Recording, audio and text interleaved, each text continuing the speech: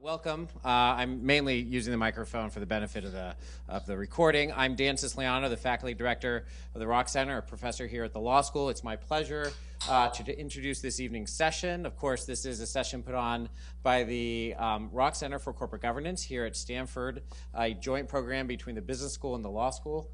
Um, and we have a regular recurring Monday evening series, typically once a month. Sometimes we throw in an extra one for good measure. If you end up being interested by this and haven't had a chance to go visit our uh, website where you can find out lots of other interesting uh, activities related to corporate governance, please do visit us at rockcenter.stanford.edu. And if you get really excited, please do uh, look into coming to our Directors College, which will be, of course, held in its 20th anniversary session upcoming in June. So this is a good segue for me to do my introduction first of Joe Grundfest. After the 100th time you introduce a guy, you start having to get really creative. Now, to you, it might be a fresh introduction, but for me, I have to kind of dig pretty hard uh, to find something new, which I, I, think I have one thing.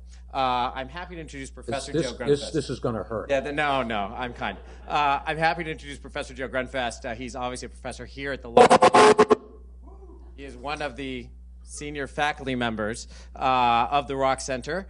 He is either past or presently a director of several publicly traded corporations, not the least of which includes Oracle, Financial Engines, KKR. For tonight's purposes, though, it is worth saying that he has managed to uh, speak with, advise, and become parts of various teams that include applied physicists and startups, creative design geniuses and startups, software, hardware, you name it. He's done it in a software environment. He is arguably one of the most sought after folks. Uh, if you after you go up and down Sand Hill, uh, you tend to go up and down the campus, and he's one of the five or six must-have stops for people who are interested in entrepreneurship and venture capital funding. There, that's the new thing. That's not so bad. Yeah.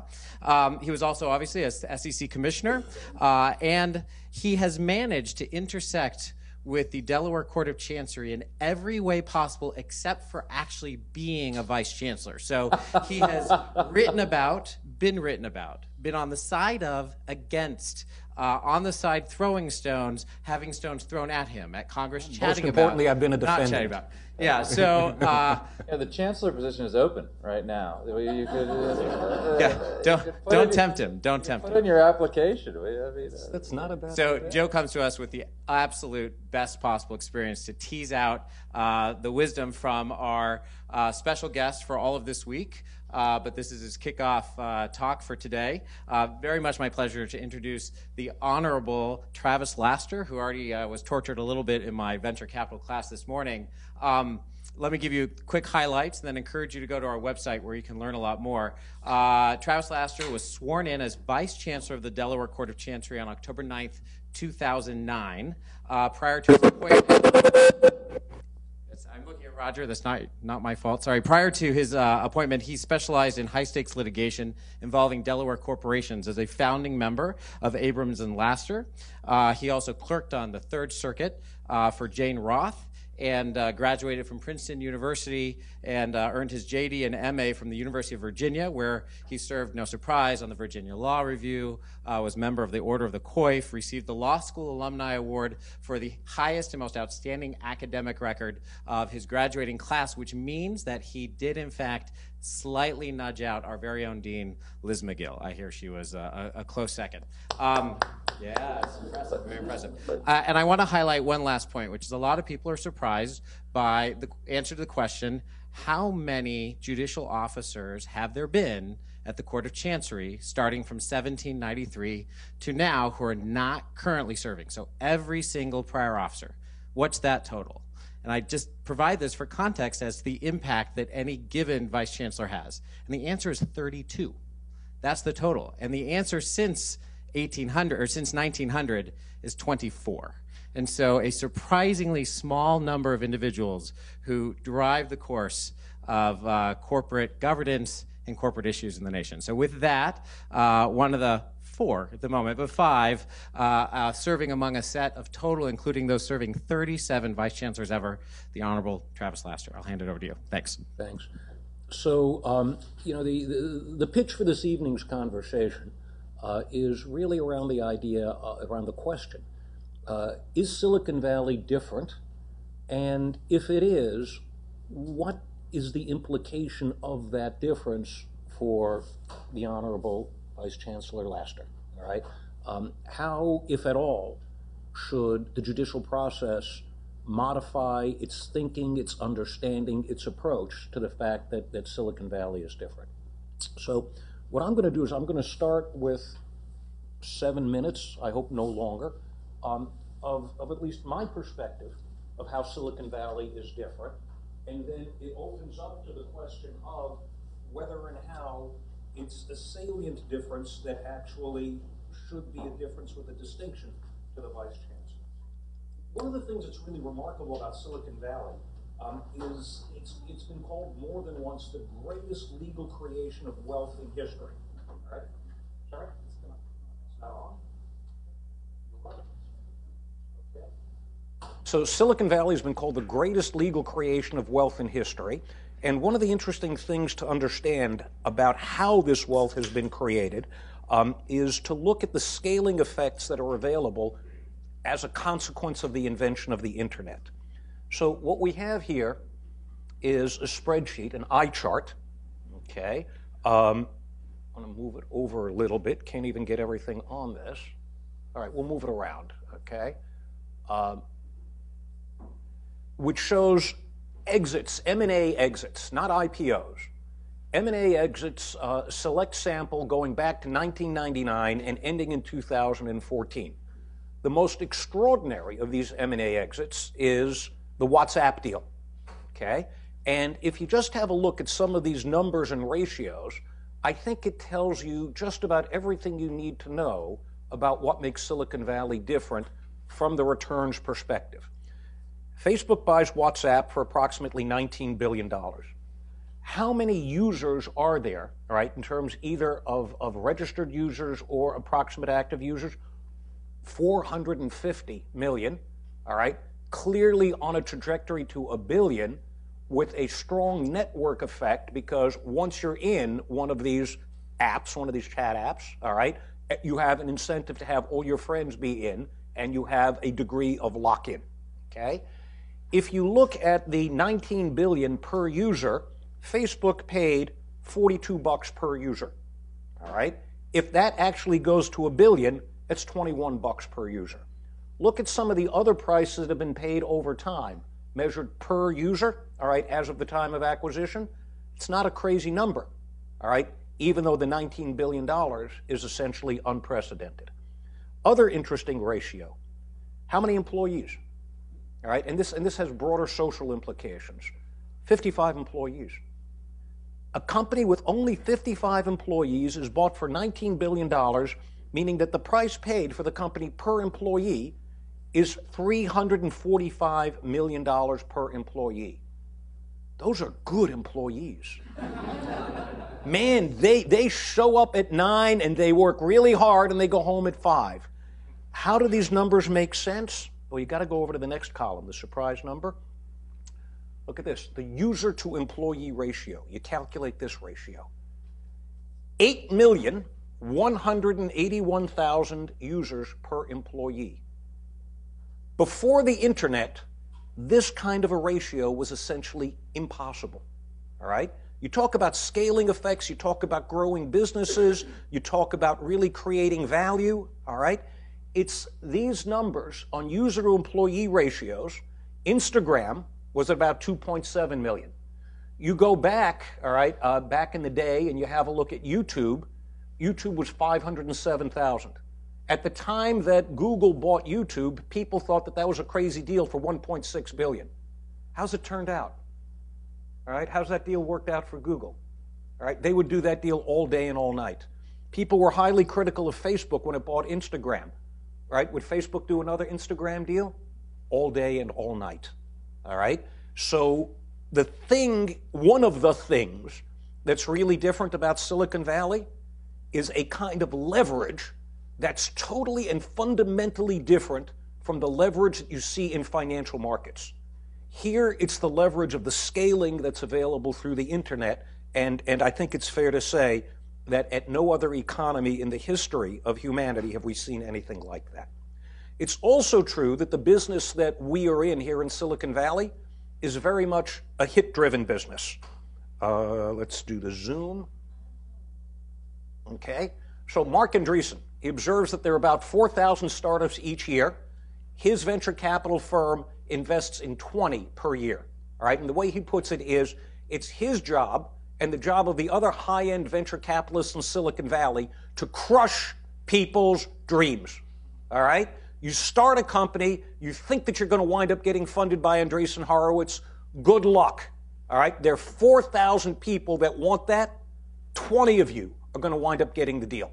All right? And, and even then, if you have a look at the industry as a whole, and these numbers perhaps that Marc's talking about, maybe they're, they're a little you know, uh, exaggerated, but even if they're a little exaggerated, they're not off by an order of magnitude. 15 companies generate 95% of the industry's returns. If you're a top tier venture capitalist and if you want to stay a venture capitalist, you've got to hunt through 4,000 startups and find which are the 15, which, which ones of the 15 are going to wind up making it. Okay? That's a hit ratio of well under 1%. All right? The funnel gets really, really narrow especially if you're looking at picking up a large part of the returns in the business. All right, highly competitive, extraordinarily hit driven. It's also the modern equivalent of the children's crusade. All right, we we are being led by you, you know you know the movie My My Cousin Vinny. All right, it's the Ute. All right, it's the Ute of America all right, that are really, yeah, a couple of people remember that movie. All right, it's the youth of America, all right, that are really making all of this work. Look at the ages of the founders of some of the most important and iconic internet companies and software companies in the world. Zuckerberg, 20, all right, at the age of found, uh, uh, he founded Facebook. Uh, Bill Gates, 20 when he founded Microsoft. Steve Jobs, an elderly 21 when he started Apple. Paul Allen, all right, the elder at Microsoft, was 22. Uh, when Marc started Netscape, he was 23. When Sergey and Larry started Google, they were 24. When Jerry Yang, all right, started Yahoo, he was 26. David Filo was 28, and Peter Omidyar was 28. All right, if you're over 30, it's too late. All right, it's a joke. All right, it's not. All right, but a huge amount a huge amount of the activity that's actually that actually winds up being successful and large scale is driven by people who have who have a tremendous amount of skill, energy, and effort, and also have a particular kind of, of beginner's mind. An additional factor that character and, and, and again, you can look at economies globally and in history, you will never see so many billionaires, all right, who, who, who are minted at a young age and who start on the process of getting them to the billionaire level, all right, when you know they can just they're just allowed to have their first beer, and in some cases they can't even have, all right, their first beer. Again, this is not only unique, I'd suggest it's probably unprecedented. Other aspect of Silicon Valley is networks are really very important. Okay, many financial markets characterized by strong relationships.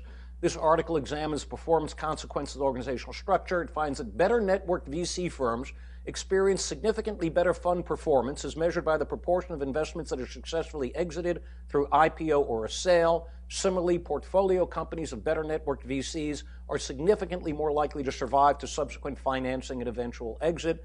I'd argue that this is not because there's some smarmy cabal of back scratching venture capitalists who all get together and have some kind of secret fraternity up on, on, on Sand Hill Road. Right? If it is, they've never invited me to any of the frat meetings. Okay? Rather, I'd suggest that there's something else that's going on here that's very important in terms of signaling and what people call assortative mating. All right? That when you're doing a startup company, it's extraordinarily difficult to measure the quality of the company.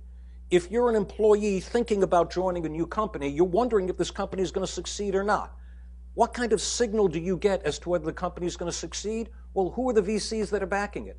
Well, if Andreessen Horowitz is backing it, how bad can it be? All right? If Sequoia is backing it, how bad can it be? All right? If Benchmark is backing it, how bad can it be? And and the signaling and the branding that's associated with some of these large firms where the firms also know their own capacities and where they want to bring in other venture capitalists, who are you going to bring into the deal? You're going to try to bring in the people that you think will add the most value to the deal. So the high quality VCs like associating with the other high quality VCs where they see additional value add and everybody's out there looking for the best possible deals. So you wind up with this, this process that, that you know, sociologists will call and economists will call assortative mating, and you wind up getting the best people collaborating with the best people, creating these network effects where it really becomes extraordinarily valuable to be able to break into the network. And how big is this industry?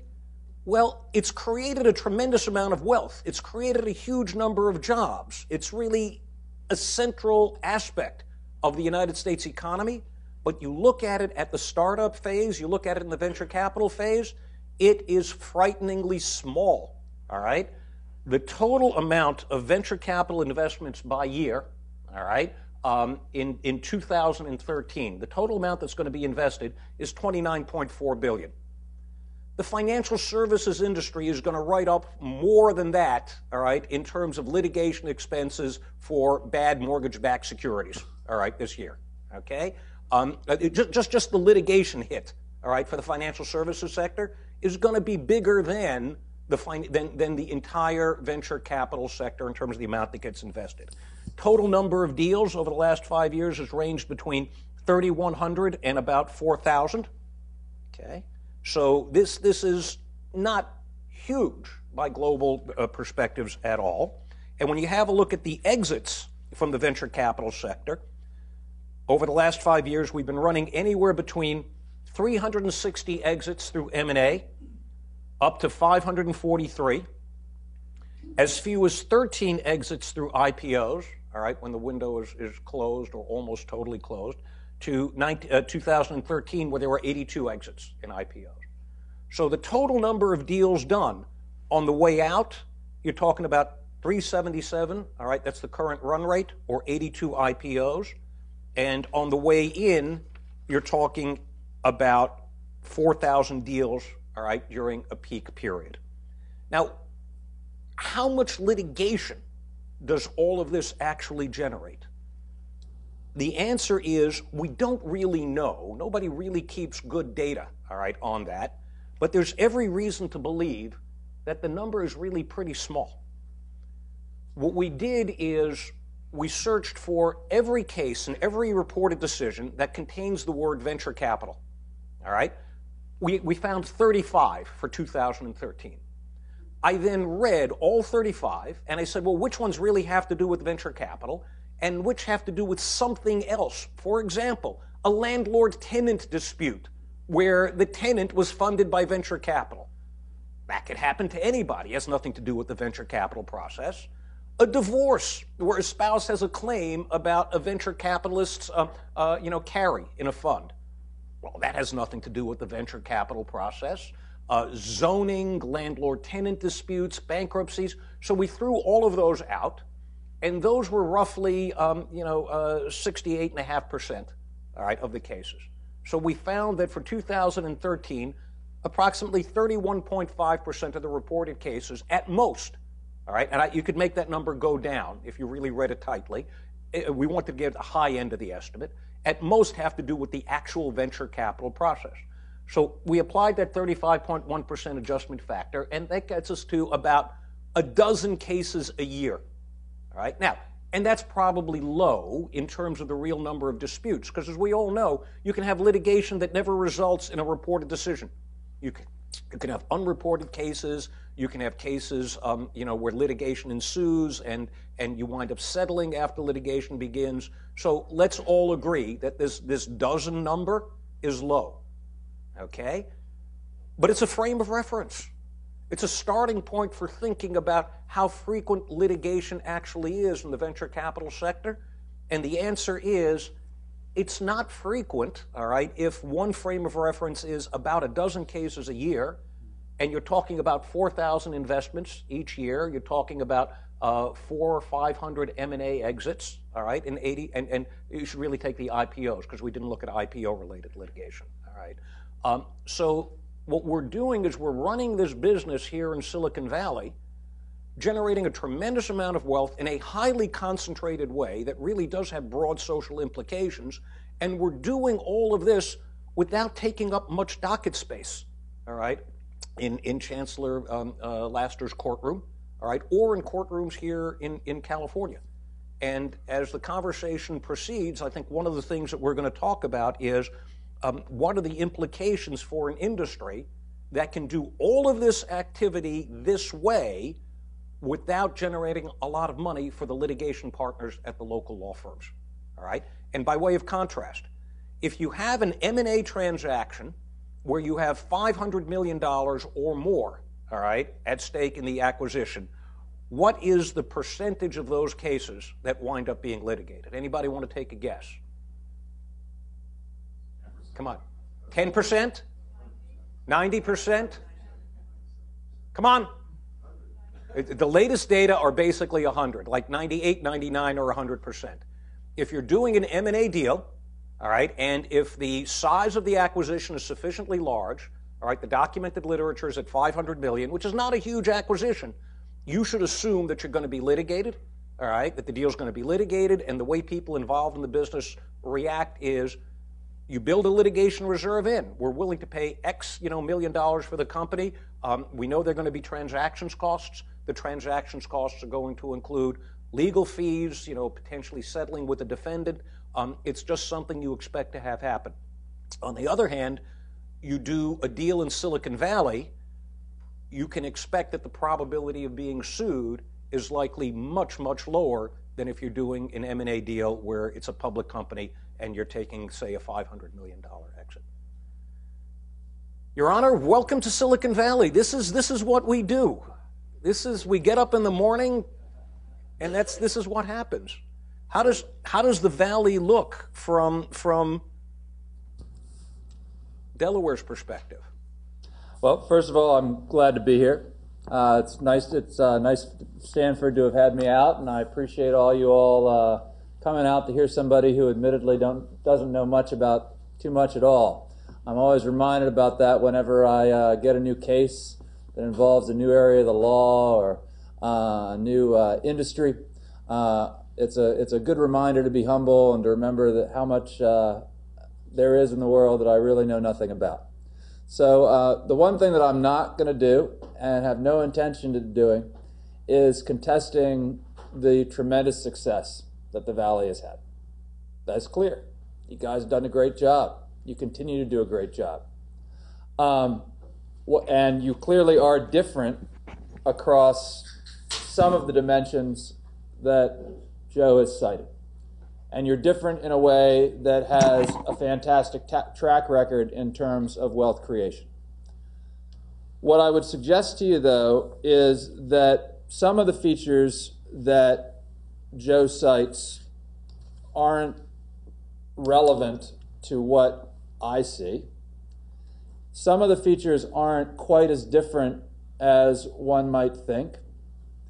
Um, and the last comparison in terms of litigation dynamic, uh, I'm not sure really involves a, a comparable uh, uh, set of alternatives.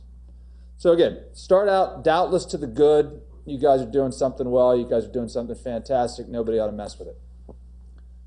I don't see the good situations. I see the downside cases.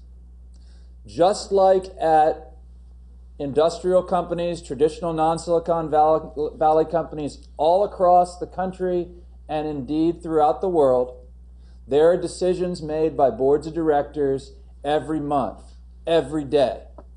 The vast majority of those, vast, vast majority of those, are never litigated, could not be litigated. What do the courts see? The courts see the ones that involve, and the Delaware courts see the ones that involve a very narrow set of situations. Actual violations of your entity specific agreements, namely the DGCL, the charter, the bylaws, or the implied terms in terms of fiduciary duties. And then the second big category under that fiduciary duty heading is conflict situations. There are a very small number of situations, not your ordinary day to day business decisions, not the vast majority of things that people do, rarely situations involving good times to the upside that involve conflicts. And policing conflicts is really what at least the Delaware courts are all about. So, as to most of what Joe says about Silicon Valley being different, I say, great, keep at it. When we're talking to the upside, and a lot of your deals and situations are the upside, fantastic. You'll get no complaint from us. Now let's focus on one area where you do get scrutiny from us that is, I think, sometimes um, unexpected. There are good sides and bad sides to thick networks. And you all aren't the only place in the world that are in, that has thick networks. In fact, one of the reasons why Delaware is successful is because we have a thick network. We have a thick network of Delaware Counsel. We have thick networks between Delaware Counsel and Forwarding Counsel. Uh, we have uh, a support structure in place. Like I get all that. I get thick networks good. I get it. But what it also means is that when you are dealing with situations that involve uh, uh conflicts or you know, allocations of resources, scarce resources, between those in the network and those without outside the network, between rep- repeat players, repeat transactors, and one-off transactors, there is natural human tendencies. The academic literature calls them biases, but that's not bias in a bad sense, like you know nasty, nasty prejudice. It's just there are some things that our brains are designed to do, and as a result of evolution, we do. One of them is to favor the known over the unknown. One of them is to favor authority. One of them is to favor self interest. Not necessarily in a greedy, uh, uh, cabal like way, like, uh, like Joe posits, but just in the sense that if you have somebody that you have repeat interactions with and you trust, in terms of business relationships, that's great. But if it comes to a question of allocation or uh, making a decision between somebody with whom you don't have that relationship and somebody you do, it is very hard for us as humans not to, often subconsciously, take those ties into account. So, thick networks, doubtless good. Are they un- an unmitigated good? They're not an unmitigated good. And the one thing that I don't think you all have done, I don't think you have solved the problems of human frailty. And one of the problems of human frailty is, and this is a problem I have all the time, we don't know when these subconscious biases are afflicting us. And the best thing that you can do is to attempt to suss them out and to not treat them as, you know, not discount them as potential conflicts or non conflicts, but actually be candid about the fact that you may face some of these conflicts.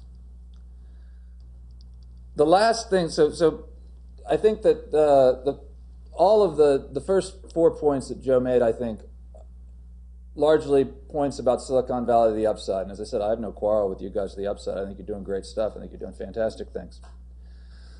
The ultimate validation in terms of what happens when you have downside situations, that's where I think Joe really has an apples and oranges situation. Public M&A, absolutely right now, it's at a ridiculous level.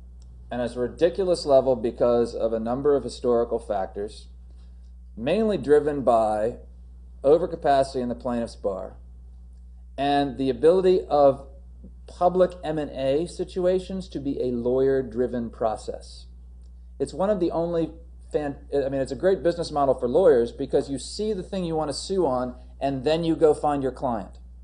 You put out an announcement on the internet that says you're interested in suing this company over this deal, the client comes to you. Low overhead, sue, high returns, great. I don't know. I mean, obviously you have less litigation in the valley, and I think that's fantastic. Not public deals, not easily sourced by plaintiffs' lawyers. number of people involved as, as potential plaintiffs are going to be less. And this is a situation where I think there's a downside to uh, the network phenomenon. So, are you going to fight the network? I mean, if you if you are someone who wants to aspires to be a serial entrepreneur, and you feel like you got worked over in your first exit, are you going to take it on? Are you going to get funded next time if you're the guy who took them on? I don't know. But I would suspect that there are natural disincentives to litigating Silicon Valley deals such that comparing um, Silicon Valley deals to public company deals really across multiple dimensions doesn't give you a fair number. So I agree with you uh, on the upside. I'm on 100% agreement. On the downside, I'm not sure, so sure you've solved the, the problems of the downside case. What may help you on the downside case, setting aside the, the same type of, of network connections that I just cited, what also may help you on the downside case is that you're dealing with smaller numbers of people. So you do have more of an opportunity to negotiate these things out. That I'm not sure is so much a situation involving your uniqueness as it is involving scale. In a public company situation where you're dealing with lots and lots of stockholders, I think it may be difficult, short of uh, uh, litigation, to have those types of conversations. Well, you know, Your Honor, I, uh, first point, I, I think your observation about human frailty uh, is an interesting one. We we don't encounter that much here in Silicon Valley. it's a it's a wonderful thing. It's beyond Lake Wobegon. And and, and, and, and if it actually is a problem, you know, my guess is within a week or two we could have an app for that. That would be great. All right. So so you know, if we can do Angry Birds, you know, what we need is the human frailty app, mm-hmm. um, and and uh, obviously once we've got that up and running, we should call Zuckerberg all right, and see how much we can get, all right, for, for frailty.com. um, the, the, the, interesting observation about the problem of the serial entrepreneur, it, it's a great situation because there's, there's a sense in which um, it really lays out the dark side of network effects mm-hmm. about as clearly as possible. Um, and the last thing in the world that I want to do is be a Pollyanna mm-hmm. and say that there are no problems in Silicon Valley. That's obviously false. Uh, it would be preposterous to say that, that no founder has ever been abused.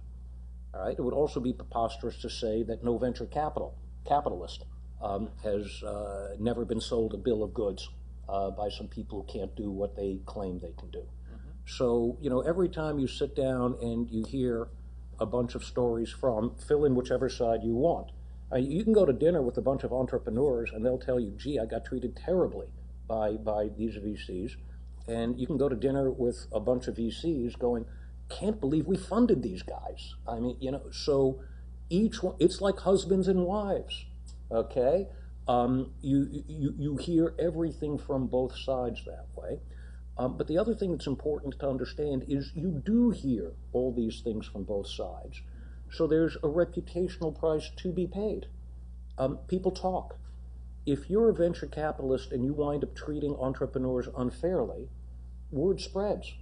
All right. Um, people say, "Gee, would you do a deal with these guys?" People say, "No." You know what they did to Jim? All right. You know what they did to Bob? Um, if there's any place else that you can get funding, take the funding from someplace else. Um, there, there, as you said, it's a thick network. Mm-hmm. If a lawyer in Delaware writes a bad brief, mm-hmm. all right, everybody knows it all right? And not just the client and not just the court. It's, it's the same phenomenon in Silicon Valley, but let, let's agree that these processes are all highly imperfect. Absolutely. I guess the, the, what, what it brings home to me and what, what I would hope that um, one thing, one takeaway in terms of how Delaware views these situations would be is I don't approach cases, I don't think any of my colleagues approach cases thinking, okay, we can divide the world ex ante into black hats and white hats. And we know that, you know, capital is bad, bad, bad, and uh, entrepreneurs are good, good, good. Like, that's just not how any of us think. It's not how we think in the public company situation either. We don't think, oh, incumbent management is always good, good, good, and nasty activist stockholders are always bad, bad, bad. Nor do we think the flip side. Um, I think a, a, a realistic view of the world requires an understanding that everyone has interests. And depending on the situation, your interests may align, in which case it's good, or they may conflict, in which case it's bad. And because humans are imperfect, if you have a self interest in a situation, we as a court are less likely to trust your judgment. So, what we are always trying to do, set aside the question of, um, you know, is it a, a violation of DGCL or your charter or your bylaws? In the fiduciary realm, what we're always asking in the first instance is is there an independent decision maker? And if there is an independent decision maker, great. I, as a judge, there's no way that I can do better than the independent decision maker who is on the ground making the decision. If there is a decision maker whose interests are self interested, we have the opposite view. We actually don't trust that decision maker. We don't believe that you know a person can be the fair judge of his or her own performance or own compensation, etc. Now, in the middle, you got this sort of weird range where you can have interests that may undermine the integrity of the decision or undermine somebody's independence or disinterestedness, but not so much that we just, you know, inherently question them. And in there, I think the best way to think about it is we give it a hard look. And if the decision making process makes sense, if the people seem to have frankly acknowledged the conflicts they faced, if they seem to have candidly come to grips with the fact that they had these different poles and tried to balance them and they can articulate in a reasoned way what they did, that decision will be respected. If somebody comes in and you know, either denies there's a conflict in the first place, or uh, worse yet, you know, seems to basically like change their story or not really have an explanation of how they dealt with it or things like that. These are all credibility undermining factors that then affect your view of how the process overall went down. But what I would hate to do is give anyone the impression that we in Delaware just think, oh, you know, certain categories of people are bad and self interested, and other categories of people are good. Everybody comes to the table with interests. And the question is trying to understand how they play in the situationally specific scenario that the decision makers are then confronting. Well, you know, I, I think one of the important lessons of what you just shared, and it's a lesson that I think Silicon Valley would actually benefit by, by taking to heart, um, is, is conflicts of interest are common. Mm-hmm. And they're common not just in Silicon Valley, they're common throughout corporate America. And there's nothing inherently wrong with a conflict of interest.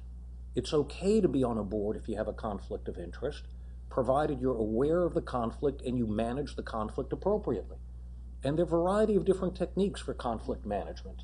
All right, recusal is one. There, there, there, there's a portfolio of techniques, and as you suggested, they can all be titrated to the level of the challenge that's that's actually presented. And to circle back to what you were saying before, is what is a conflict in one situation can be an advantage in another, another situation. Precisely. And so that's why part of part of what has to happen is you have to be sensitive to how these situations involve in the particular context in which you're dealing. And the reflexive notion that some people have that wait a minute, if a court sees us with a conflict, we're dead men, therefore we have to deny the nose in the middle of our face. All right? That, that just gets you off on the wrong foot when you're dealing with the judicial process. And, um, you, and you essentially, and the, not only does it get you off on the wrong foot with the judge, but you are giving the other side's lawyer the greatest cross line of cross examination in the world because they can just hammer on this idea of, well, you know, come on you have no credibility. You, you, you basically sacrifice your credibility at the outset. And, and I think, as the Vice Chancellor is explaining, you're going to be in a much better place if you start off by saying, Oh, yeah, I had a conflict, absolutely. Uh, could you describe the conflict? Yeah, here's the conflict. Uh, and did you just race ahead willy nilly? No. I was aware of the conflict and I behaved entirely appropriately in light of the conflict.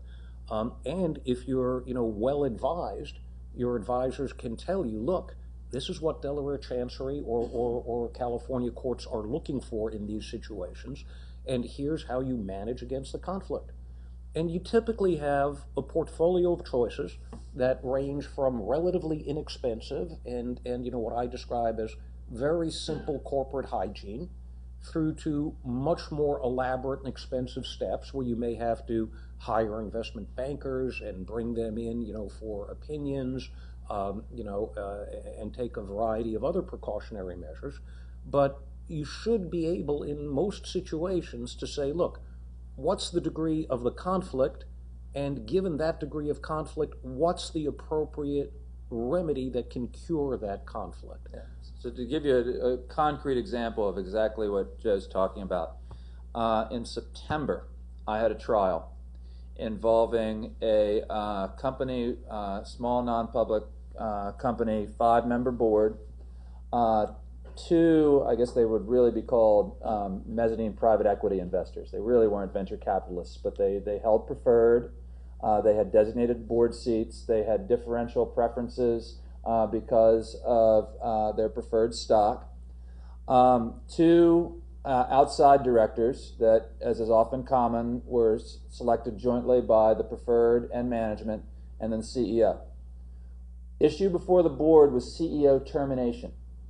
So the two preferred, there was a lot of evidence that these guys wanted to exit and they wanted it to exit near term in a manner that would beneficially trigger their liquidation preference relative to the common. Okay? Yeah, starts to raise my you know, my questions about whether these guys are understand that they have an interest in how they're dealing with it. But you got two independents on the board. So what happens?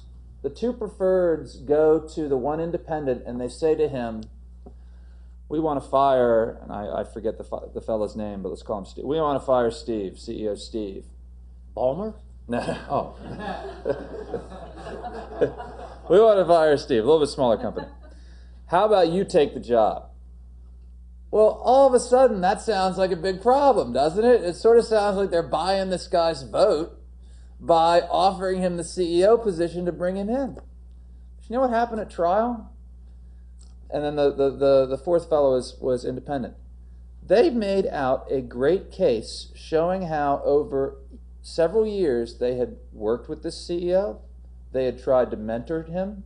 No one had run to the exits early on this.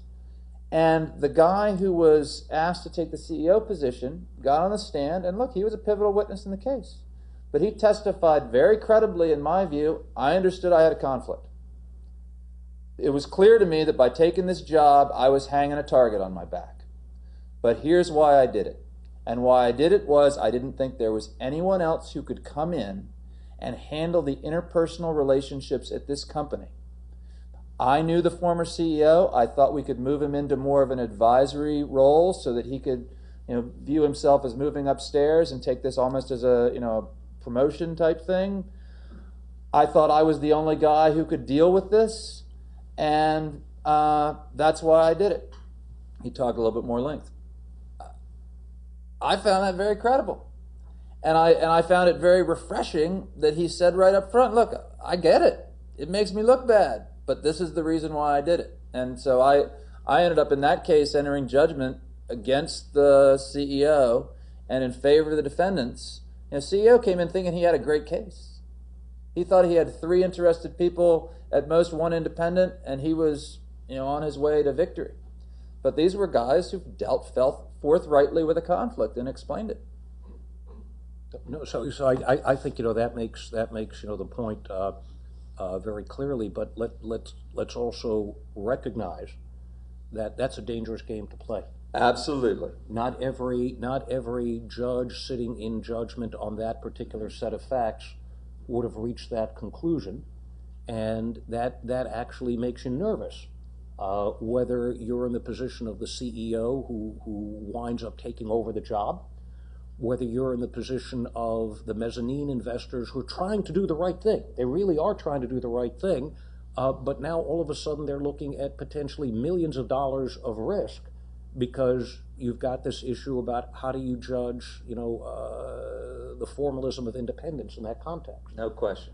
What in that particular situation? What else, if anything, could the board have done in order to build a better record and make it easier for you to wind up agreeing with the conclusion you reached anyway? Sure. So um, let's assume that they, you know, and I actually believe them on this.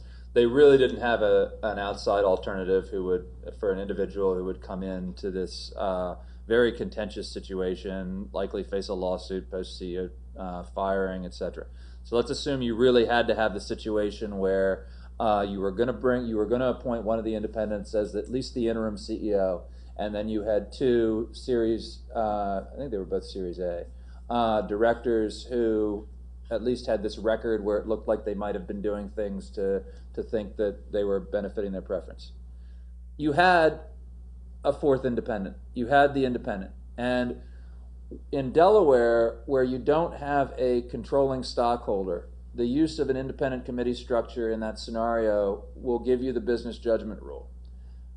Honestly, I don't think that means you're not going to not get a hard look. I'll be honest with you. I mean, I think that we are going to we are going to look at it to make sure that this is is is something that looks does does does, does doesn't just have the appearance but actually has the substance.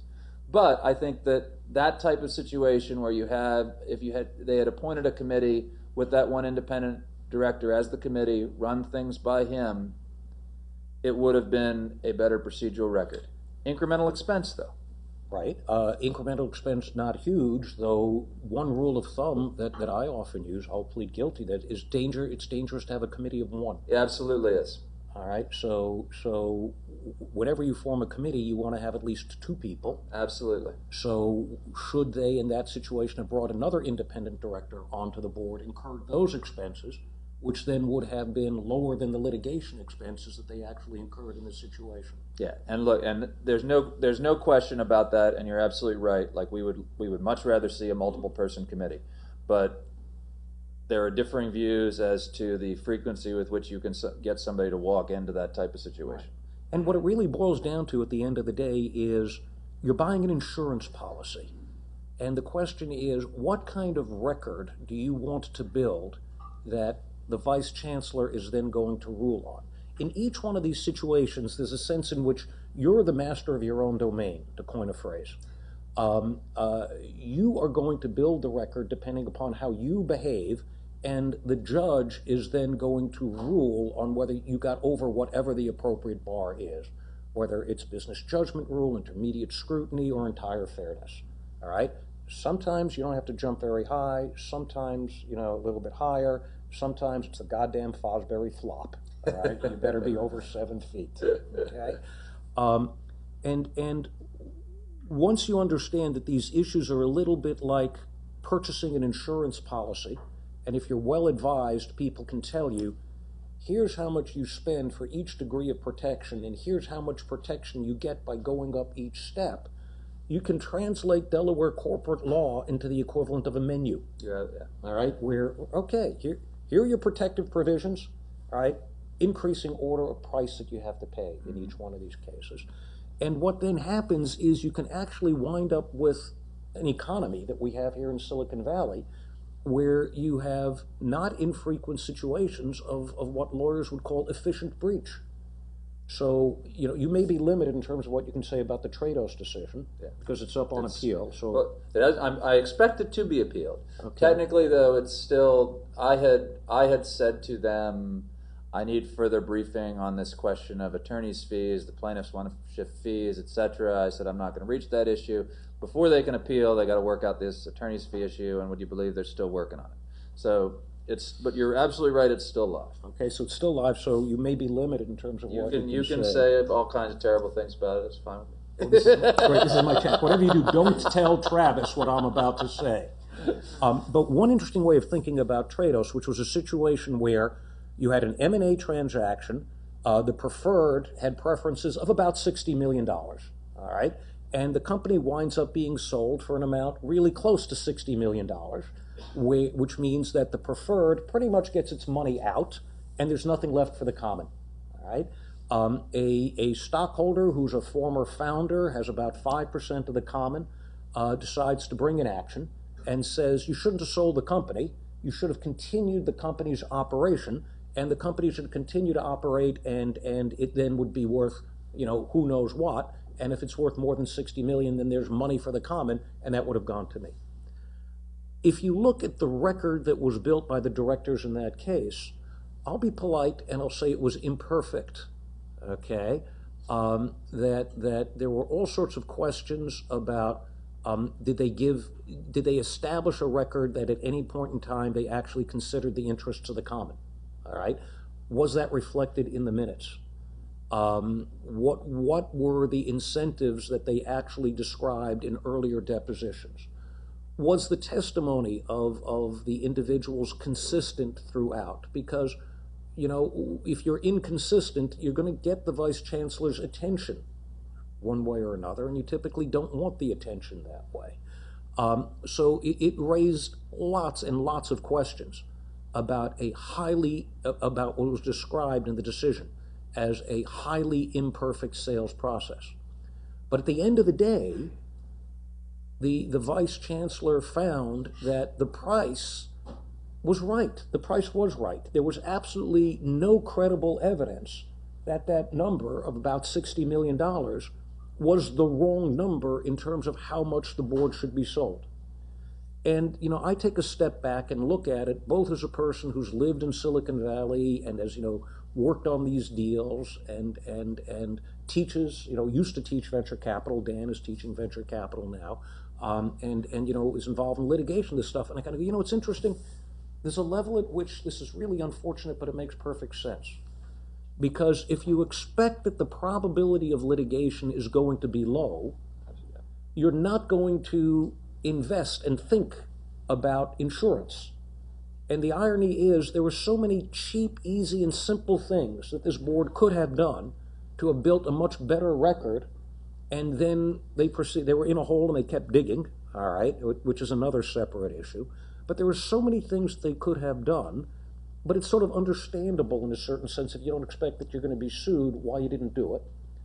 But at the end of the day, if you know that you're going to be judged by your peers by getting the right price, then, then you say, well, all right, how does this network effect work? And what's rational behavior in this environment?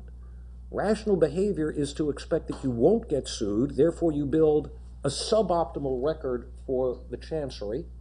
But when it comes time to getting a price, everybody knows if you sell the company cheap, you're going to have a bad reputation and nobody's going to want to be on the next board for you. And you can't really sell the company for too much because the buyers won't pay it. So, so the discipline worked in terms of the price, and you saw that, all right. But the process was was arguably suboptimal, all right, and and that that's a internally coherent, rational economic explanation for how the Trados case winds up evolving as it does. And I think you can generalize that concept. So, um, a good example uh, is Series A preferred oftentimes when there is litigation over Series A preferred and the protective provisions in Series A preferred, I will look at it and the Series A protections are usually quite weak, quite weak to slash minimal. Um, and you know, you sort of wonder, well, VC guys, you're smart repeat players. Why didn't you protect yourselves against some of these more uh, obvious things? But then when you take a step back and you think about it in terms of the overall ecosystem as Joe's articulating, it makes sense for them not to invest a lot in protections in the Series A because you're doing a lot of them. Few of them ever really create any problems. It's almost like a foot in the door investment. Because you're doing uh, phased funding, you can usually get out simply by saying, We're not going to invest again. So it doesn't make any sense to spend a lot of time and hire a big fancy law firm to really think through a lot of issues for your Series A round. There's a simpler reason. There's a simpler reason. And that is when you do these financings, the Series B is always going to ask for at least as much as the Series A got. So if you really wind up being piggy on the Series A, you're setting a higher bar and you're giving the next investor an opportunity to come in and try to argue for more. Mm-hmm. And VCs who understand that you know Series A is not the last series. And what they do is they model it out and they think about, well, okay, what's the B going to look like in the C and are we going to need a D? What you discover is, you know, you can actually wind up getting a higher IRR for your limiteds if you don't wring the last nickel out of the founders by having a 5x multiple on the preferred in, in the first round, even if the market will support that. Because in the Series B, they're going to want 10x and there's nothing for you. So, so um, I think people have learned over time that if you're on the VC side of the table, the smart thing to do in many situations is not to put the pedal to the metal because this is not the last time we're going to have this conversation. Sure. No, no, no question. But I mean, it also it also answers the question. So if if someone looked at some of our Series A, our cases primarily involving Series A, they'd look at these preferred stock provisions and then they'd draw the inference, which a lot of people have, and say, oh wow, preferred stockholders lose. Well, preferred stockholders don't always lose. Preferred stockholders will often lose on their protective rights when their protective rights are weak in situations where it has made sense for them to go in with weak protective rights. When you see cases, and it is usually a C or a D round, but I'm thinking one, one example is benchmark. Benchmark was a situation where the rights were much stronger. Now there's still a hole, but the rights were much stronger. And these ultimately, it's rational behavior by the people involved, uh, not to put the pedal to the metal or not to insist on a lot of protections you know, when it's an early first round situation. Small observation, then we'll go to questions. Whenever Delaware comes up with a decision where people in Silicon Valley go kind of, you know, kind of go like, you know, we don't like that, you you get two kinds of responses. You get a behavioral response, change the way we behave, and you get a, a, a deal document response. So one of the responses to Trados, which is you know entirely predictable, is people are paying more attention to things like drag along rights. Mm-hmm. All right, that if you had drag along rights in that deal, arguably you wouldn't have had you know any issue at all. Uh, the the uh, National Venture Capital Association has a set of standard deal documents, and they now have uh, two or three new provisions, which they say, well, all right, this gets rid of the opportunity for Trados style um, uh, litigation. So so the law is an evolving beast. Um, you have an interpretation that comes out of Chancery. Uh, next thing you know, uh, the deal lawyers sit down and say, "Hey, you know, I can fix that. There's an there's an app for that. Right. Okay. Uh, so we write the deal document so that the next time Trados can't happen again, even if the board behaves exactly the same way.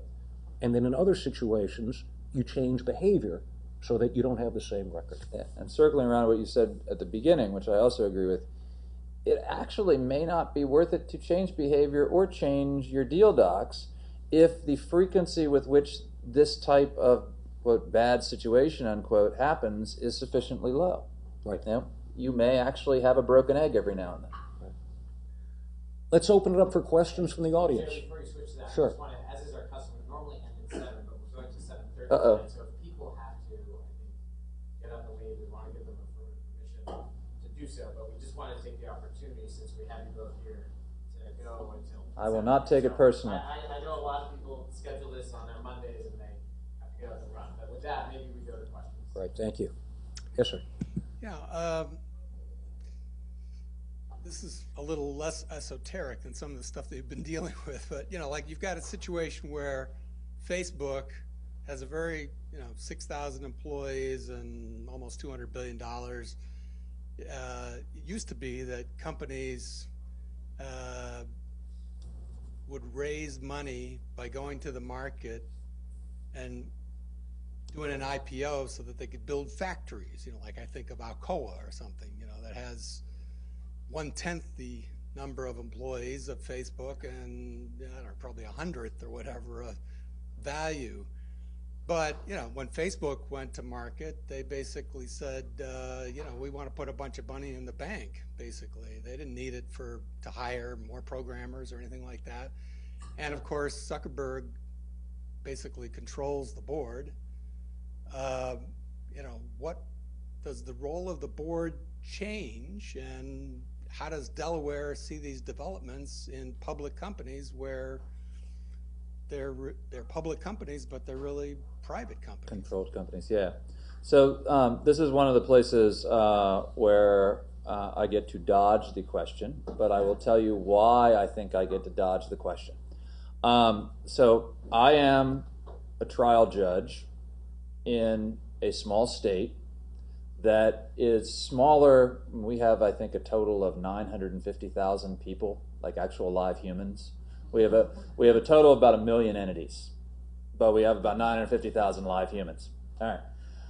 I actually don't think you want us I mean, making national economic policy decisions.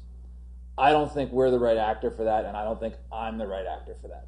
So, what I think my job is, as I said at the beginning, is to enforce the entity specific relationship for that particular company. And what that means is I look at its charter, I look at its bylaws, I see to what extent they have departed from default rules. We have our backdrop of default rules, and I apply that. We are sort of, you know, it's inculcated in us from day one in Delaware to say, no, we don't have one size fits all. No one size fits all. No one size fits all. Just burned into our brains. So, my answer to you on Facebook, which I admit is a duck, is that is an entity specific arrangement. For whatever reason, stockholders, if they want to invest in Facebook, they are investing in a company that has a particular governance structure. If it comes before me, I'm going to enforce that governance structure. Now, I'll tell you at the board level, unless they've done something really funky, they're still going to have their core default duties care and most importantly, loyalty. Unless they've done something really funky and untested, loyalty is going to run to the common. And the directors are neither entitled, they're certainly not required, but they're not entitled to consider the special interests of the controller. They have to act for the benefits of the common as a whole, even in a controlled company setting. But as to voting rights and things like that, I, as a Delaware judge, I really don't think I'm supposed to have um, normative views as to what the right capital uh, you know, allocation of voting rights is for companies as a whole. What I do is when you come to me, I look at what you got and I say, are you complying with it or aren't you? Have you been loyal or haven't you? So if people want to buy Facebook, Lord love you. You know? Now, the, you get one of the SEC commissioners up here, you know, you get Joe to put his SEC commissioner hat on. Doesn't fit anymore. He might he might give you a very different answer as to whether these structures are good for economic wealth creation as a whole. But as a Delaware guy on a trial court, I happily say that that's not my job. So, but the, the I thought that was eloquent. Um, the the you. You're welcome. um, the so the reality is these boards on these controlled corporations, the directors have the same fiduciary obligation as any other, all right, director of any other company, with the realization that the realpolitik is there's one person who can vote you off the island anytime, all right, you know, he or she wants to. And then the interesting and unresolved question, to my mind, is you, you, the chancellor was talking about these intermediate zones, all right, of independence. How will Chancery Court look at the behavior of nominally independent directors, where each and every one of these independent directors is subject to replacement, all right, uh, as as a result of the whims of one or two or three people? And and to my knowledge, that's an unlitigated question. Well, you're gonna you're gonna need more. So like if if if the only if the only question is they got on the board because Zuckerberg put them on the board and they're otherwise facially independent, etc., they're good. The question will be if it's like Zuckerberg's high school buddy, and the plaintiff can somehow show that you know, these guys have gone fishing together and to rock band concerts and things like that for years. And then we'll think about the procedural context. Is this a motion to dismiss or is this later, etc.? It's not clean. Right. But if but if it is clean, all right, totally independent director, just business acquaintance and the whole bit on the board, then then you think the ability to be replaced doesn't cast a shadow. That standing alone does not cast the shadow. That's Very interesting. You heard it here first. Could we get you to, could we get you to sign that? That's valuable. That's valuable. Yes, sir. Hi, Chancellor Laster. Thank you very much for your insightful remarks, particularly on conflict. I think one of the things, though, that is changing the thick networks is the advent of crowdfunding. Could you comment at all on some of the issues and conflicts in crowdfunding and whether or not you've seen any uh, cases now before your court on that? Uh, the short answer is no. Uh, we haven't seen any.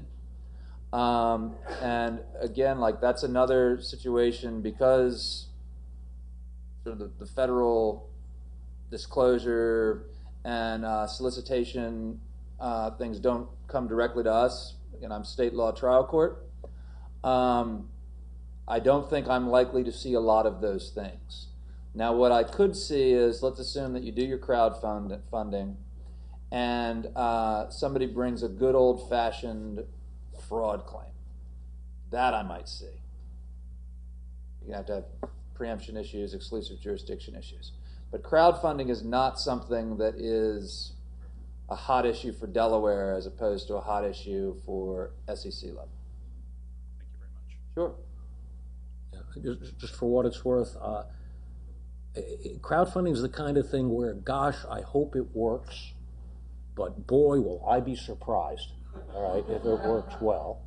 And, and the reason for that is, is the phenomenon of adverse selection. Yes. So if you've got a really good business that you think is actually going to work well, other people who are knowledgeable about the business and who are not dumb money and can actually help you succeed are going to want to work with you, put money in the deal. And that's true whether it's it's a venture capital startup, whether it's a restaurant, whether it's a dry cleaner, or whether it's a cupcake store. All right? Um, people who you know know cupcakes and they know retail. If they like your plan, um, you can get smart cupcake money into the deal. All right.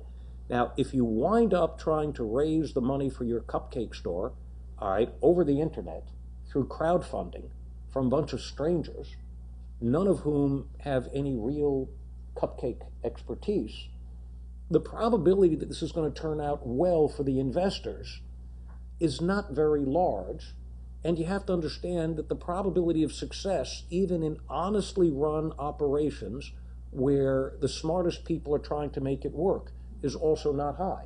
All right, failure rate in Silicon Valley, even with the best VCs, is nicely over 50%. Okay, most of these things, despite the best people, you know, working horrendous hours, crash and burn.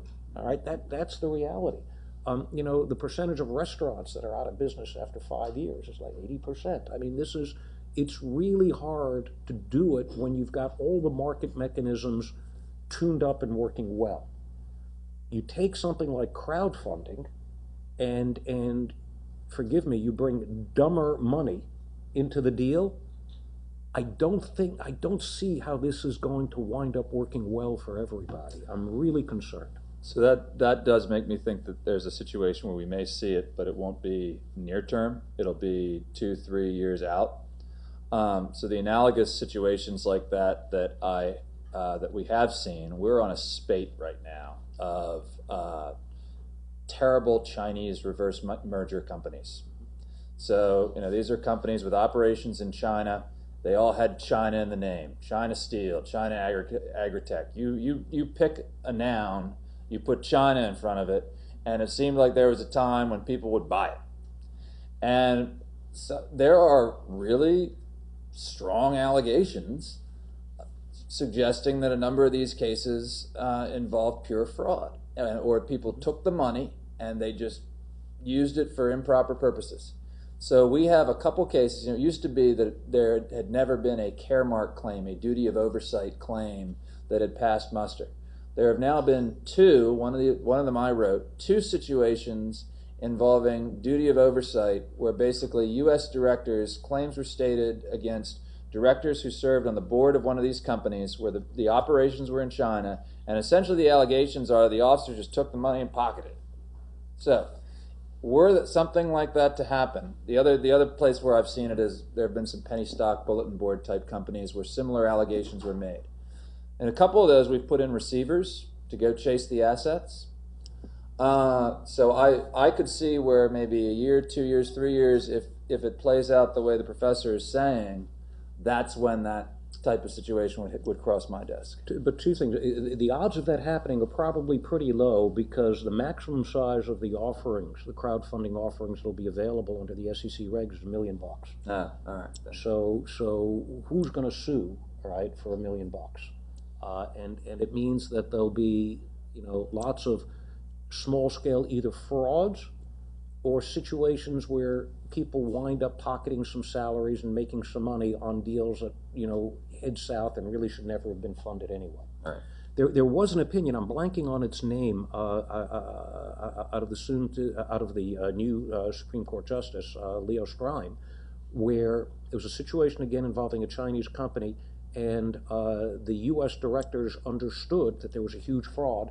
Puda and- Coal. Puda Coal, all right, uh, and they they resigned, and the chancellor Chancellor Strine raised the possibility that the resignations were breaches of fiduciary duty because the only remaining director of the corporation at that point was the bad guy CEO who allegedly had looted the corporation, raising the interesting issue of if, if you're in a bad situation and if all of the good guys jump ship, are you actually breaching your fiduciary duty by jumping ship?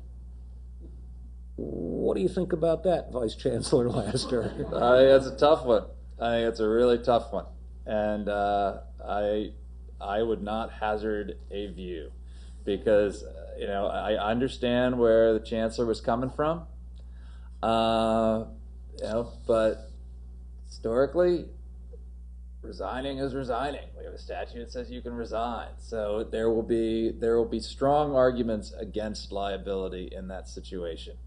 Uh, but I also understand the concern uh, that he had. And, and the other observation is if that winds up being the law, you're going to create a race for the door in situations wherever you have a sufficiently uh, uh, serious concern, because the easier thing to do will be to say, I'm out of here, Right. rather than saying, you know, we got a problem, and it's my job to try to protect the corporation and the stockholders by addressing this problem.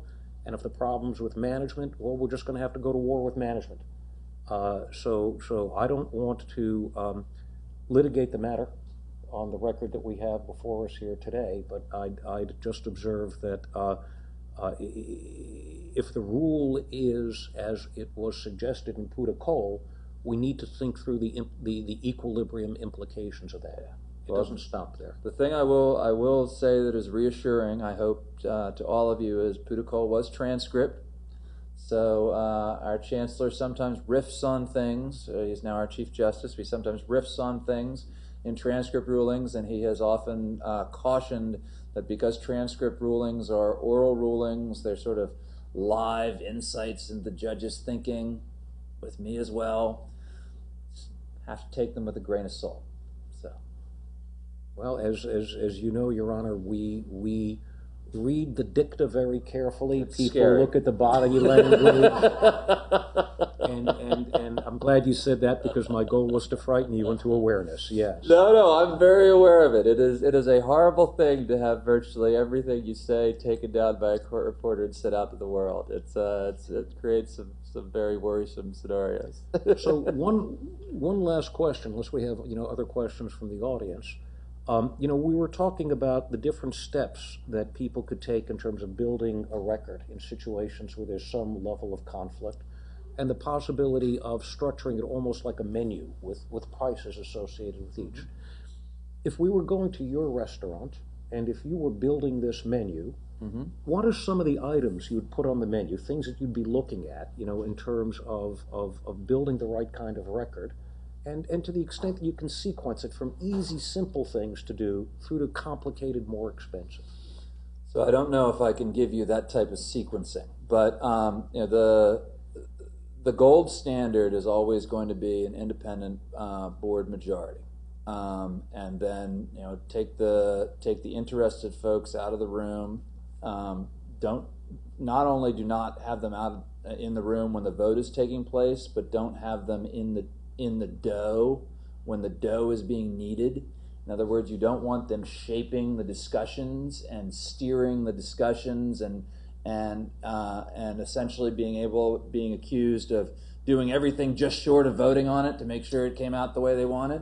Your Honor, for, for, when when I have these conversations with people and I try making that point, um, I'm a little bit more graphic, and the way I describe it is I say, no foreplay.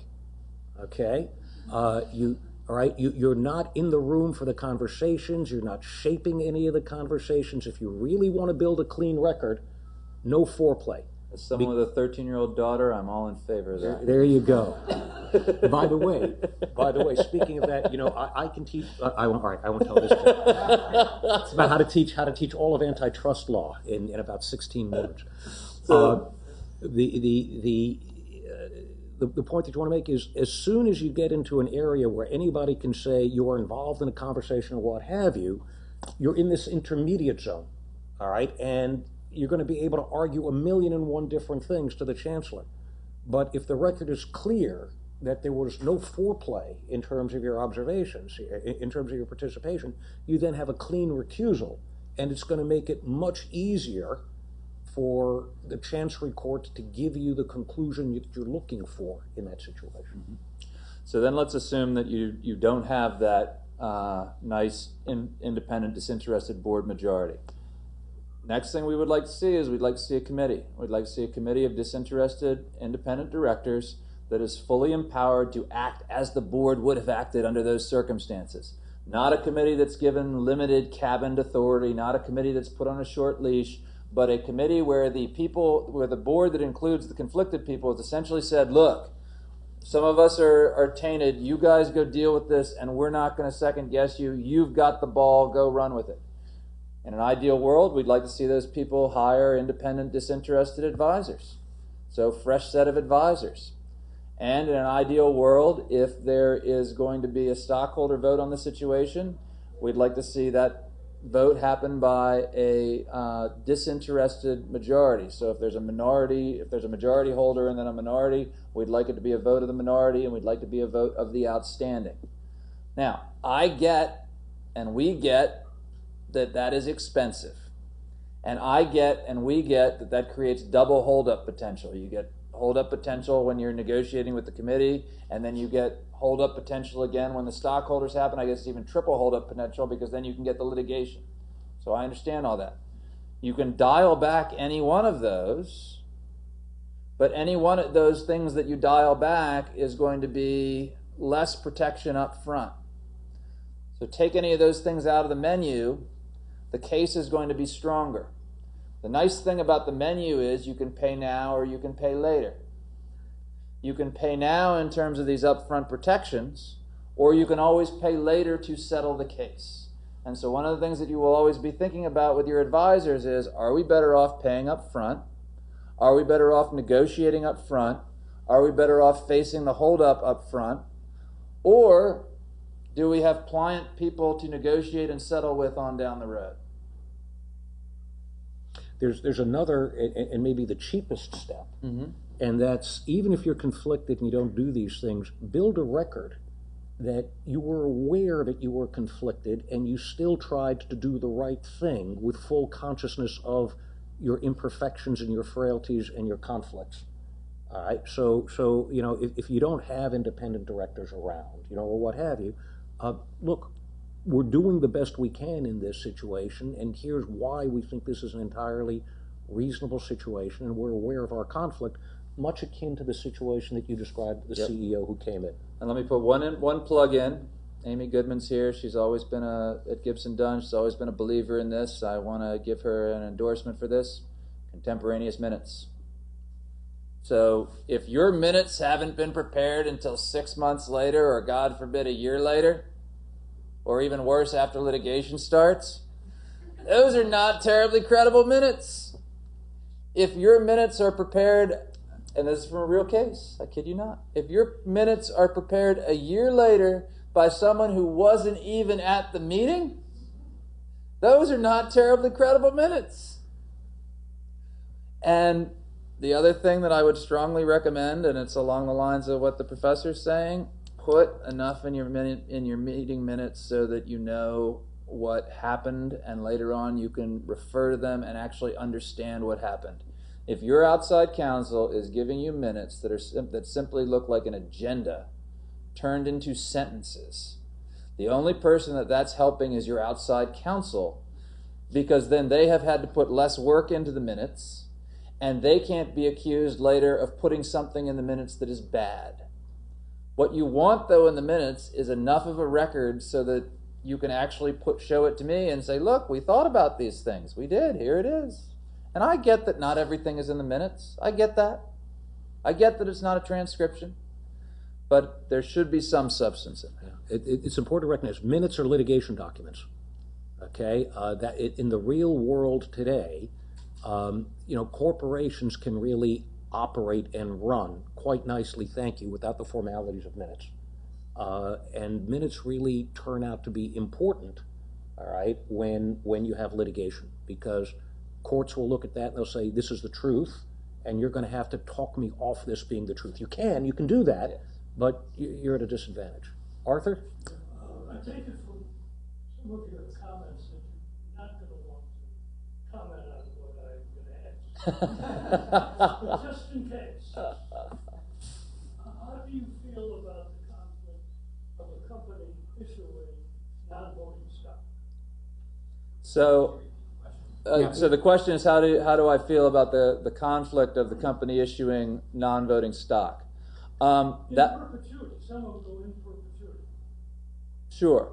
Uh, that is actually something that, again, I don't view necessarily as a conflict. I view that as a you know valid capital raising device, and if people want to buy it, they know what they're getting. They're not getting voting rights. They're basically getting you know a license to have no influence whatsoever. I would not buy it, but but it's not it's I don't take a normative position on it being necessarily a a bad thing. But the reason people buy that stock is because they think it's gonna double in a week. They're, not interested, they're not long-term voting shareholders. So and and I will again. So I I'm, I don't take a normative position on that. What I do take a normative position on is we do believe firmly in Delaware, at least I firmly believe, that uh, the ultimate purpose of the corporation is long-term value creation. So Delaware has no problem with you doing things, be it in your charter, um, you know, and it would have to be in your charter for a stock issuance to encourage long-term value creation. So we actually have a case that upholds tenured voting, where you know you get increased voting rights the longer that you hold the stock. The stock exchange won't allow it, but we will let you do it. So, um, like, I get the concern, but from my sort of no one size fits all knee jerk reaction, uh, what I what I look at that is I look at that and I say, look, corporation has the power to issue it. Uh, if the directors believe that they can raise money to the corporation by putting out non-voting stock, and if there are suckers out there who'll buy it, Lord love them. Well, there's there's another way to look at it, as you can imagine, and and that is if you look at these situations, what you have really is is is is what you can call transition risk. What's the probability that the controlling stockholder will overstay his welcome and will not properly manage the transition? And you can look back in history and can say, you know, there's some organizations that have had controlling stockholders and they manage the transition risk really quite well. So, you know, some people would say the New York Times. Okay, uh, it's had you know dual class voting a whole bit, but look, one example doesn't doesn't you know prove the point. And I think it's it's fair to say that with the new generation of, of, of companies we have in Silicon Valley now, you've got some situations where things appear to be going pretty well. It's it's hard to complain about Google, all right, even though it's easy to complain. It's e- even though some people find it easy to complain about the governance structure. And the question then is, will you know uh, uh, Larry and Sergey, uh, you know, how will they deal with the situation that arises, you know, if and when they go, hey, we're, we're no longer going to be running the show, So the or we've lost our, our, our, our mojo. Absolutely. So the so the little bit longer story would be at the issuance phase. Again, I don't have any uh, problem with it, but you you you are creating a controlling stockholder situation. Right. And controlling stockholder situations are rife with conflicts. Controlling stockholder situations can be good or bad. Uh, being the minority stockholder and riding the tails of uh, the controller has been a very good investment in a number of situations. The controller has the interest to minimize agency costs. The controller has the interest, in, since they're non diversified, to make the right business decisions, etc. You can ride that train but you may come to a point where push comes to shove and your interests aren't aligned and be it uh, you know some type of exit transaction or even some type of squeeze out that could be a problem. That's when the fiduciary duty review of delaware is going to kick in and say okay did the controller act in a self-interested fashion? Were there protections uh, particularly if it's a, a controlling stockholder situation was it fair? So assume that you know on down the road, Google squeezes its non-voting shares for something that people can plausibly come in and say is much less than fair value. That will be a real case. That will be a real case with real damages liability because it's a controlling stockholder situation. So I guess my, my longer answer now that uh, Joe has thoughtfully uh, prompted me is while we may not have any concerns on the issuance, we're going to have concerns on the the situations that could result in expropriation or, or conflicts. Uh, ladies and gentlemen, we're at the end of our time. Uh, Your Honor, I'd like to thank you very much. Thank this was a terrific conversation. Really, really appreciate it.